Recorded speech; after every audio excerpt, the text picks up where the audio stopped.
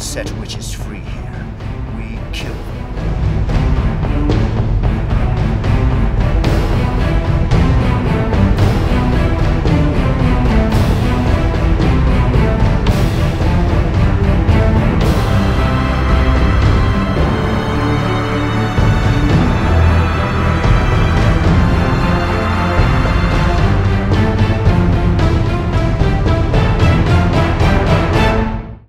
Who's next?